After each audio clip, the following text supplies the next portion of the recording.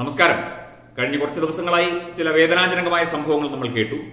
ഒരു മസനഗുടിയിലെ ഒരു റിസോർട്ടിൽ ടയർ കത്തിച്ച് ഒരു ആനയുടെ മേത്തേക്ക് എറിഞ്ഞു. കാട്ടാനയുടെ മേത്തേക്ക് എറിഞ്ഞു. ആന ചരിഞ്ഞു.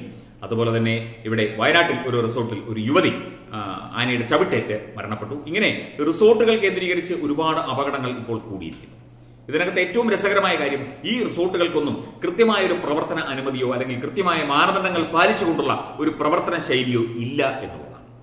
ഈ റിസോർട്ട് എന്ന് പറഞ്ഞാൽ ഇപ്പോൾ പണ്ട് അച്യുതാനന്ദൻ സർക്കാരിന്റെ കാലത്ത് മൂന്നാറിലെ റിസോർട്ടുകൾ അനധികൃത റിസോർട്ടുകൾ പൊളിച്ചു നീക്കാനുള്ള നടപടി ആരംഭിച്ചതും അവസാനം പൂച്ചക്കുട്ടികളും കരിമ്പൂച്ചകളും ഒക്കെ പോയപടി തിരിച്ചു വന്നതുമൊക്കെ നമ്മൾ കണ്ടതാണ്. അപ്പോൾ ഈ റിസോർട്ട് മാഫിയ അല്ലെങ്കിൽ ഈ റിസോർട്ട് ബെൽറ്റ് എത്ര ശക്തമാണ് എന്ന് ഇപ്പോൾ ഇതിൽ നിന്നൊക്കെ വ്യക്തമായിരിക്കുകയാണ്. ഈ വയനാട് ഇടുക്കി കേന്ദ്രീകരിച്ച് പാലക്കാടൊക്കെ കേന്ദ്രീകരിച്ച് ധാരാളം അനധികൃതമായി റിസോർട്ടുകൾ പ്രവർത്തിക്കുന്നുണ്ട്.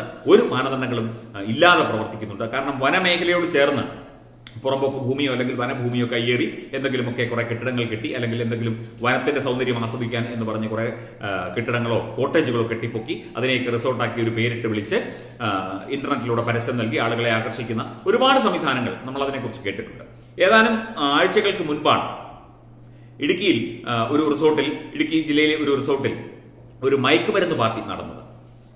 എന്തോ ക്ലിഫ് ഇൻ നോമറ്റം ആയിരുന്നു ആ റിസോർട്ടിന്റെ പേര്. ഒരു സി പി ഐ നേതാവിന്റെ റിസോർട്ടാണത്. അവിടെ ഏതാണ്ട് ഇരുപത്തിയഞ്ചോളം സ്ത്രീകൾ എത്തുകയും ഒപ്പം മയക്കുമരുന്നുമായി പലരും എത്തുകയും റിസോർട്ട് പാർട്ടി നടക്കുകയും ഒക്കെ ചെയ്തു. അതിനെക്കുറിച്ചൊന്നും ഇപ്പോൾ പോലീസോ കാര്യങ്ങളോ അന്വേഷണമോ നടക്കുന്നുണ്ടോ എന്ന് നമുക്കറിയില്ല. അത്തരം അന്വേഷണങ്ങൾ നടക്കണം എന്ന് പറഞ്ഞുകൊണ്ട് ഒരുപാട് സാംസ്കാരിക പ്രവർത്തകരും സാമൂഹ്യ പ്രവർത്തകരും ഒക്കെ ഇടുക്കി ജില്ലാ പോലീസിനും അതുപോലെ തന്നെ സംസ്ഥാന സർക്കാരിനും മുഖ്യമന്ത്രിക്കും ഡി ജി പിക്കും ഒക്കെ പരാതി നൽകിയിട്ടുമുണ്ട്. അപ്പോൾ ഈ റിസോർട്ടുകൾ കേന്ദ്രീകരിച്ച് എന്താണ് നടക്കുന്നത്?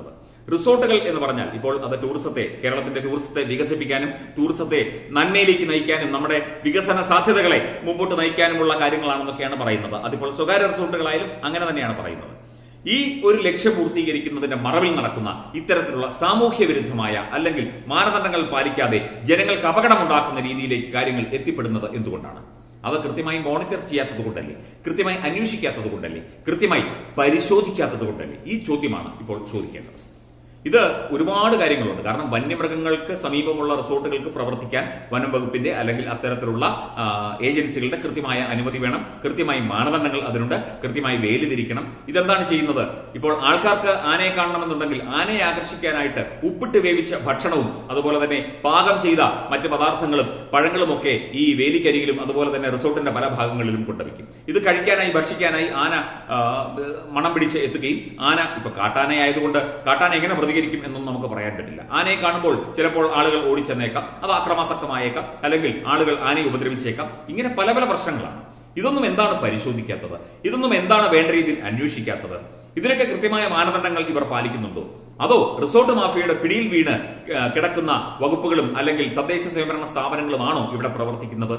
ഇതൊരു ജനാധിപത്യ രാജ്യമല്ലേ? ഇവിടെ സർക്കാർ സംവിധാനങ്ങളില്ലേ? ഇവിടെ അന്വേഷണം നടത്തേണ്ട ഏജൻസികളില്ലേ? പോലീസില്ലേ? വനം വകുപ്പില്ലേ നേരത്തെ പറഞ്ഞതുപോലെ തദ്ദേശ സ്വയംഭരണ സ്ഥാപനങ്ങളുടെ ലൈസൻസ് സർട്ടിഫിക്കറ്റ് മറ്റു കാര്യങ്ങളുമില്ലേ വിശദമായി പരിശോധിച്ചതിന് ശേഷം വേണ്ടേ ഇതിനൊക്കെ അനുമതി കൊടുക്കാനായിട്ട്?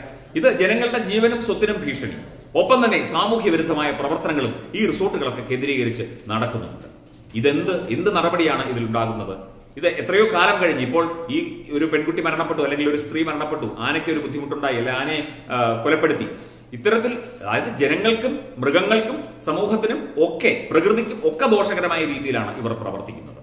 ഈ പ്രവർത്തന മേഖല ഇങ്ങനെ തുടർന്നുകൊണ്ട് പോവുകയാണെങ്കിൽ കേരളത്തിന്റെ അവസ്ഥ എന്താകും? അല്ലെങ്കിൽ നമ്മുടെ വനങ്ങളുടെ അവസ്ഥ എന്താകും? അനധികൃത റിസോർട്ട് മാഫിയ ഇവിടെ പിടിമുറുക്കിയിരിക്കുന്നു. ഒപ്പം ഈ മദ്യ മയക്കുമരുന്ന് മാഫിയ റിസോർട്ടുകൾ കേന്ദ്രീകരിച്ചും പിടിമുറുക്കിയിരിക്കുന്നു എന്നാണ് സൂചനകൾ പുറത്തു വരുന്നത് നമുക്ക് ഉറപ്പില്ല. പക്ഷേ ഈ റിസോർട്ടുകൾ കേന്ദ്രീകരിച്ച് പലതരത്തിലുള്ള പാർട്ടികളും ഇതുപോലെയുള്ള ഗ്യാതറിങ്സും ഒക്കെ നടക്കുന്നുണ്ട് എന്നാണ് പരാതിപ്പെടുന്നത്. ഒരു സമൂഹത്തെ മുഴുവൻ അല്ലെങ്കിൽ വരും തലമുറയെ കൂടി ബാധിക്കുന്ന തരത്തിലേക്ക് ഇക്കാര്യങ്ങൾ എത്തിപ്പെടുന്നത് എന്തുകൊണ്ടാണ്? സർക്കാർ സംവിധാനങ്ങൾ മറുപടി പറയണം. Web desk Tathwamayi news.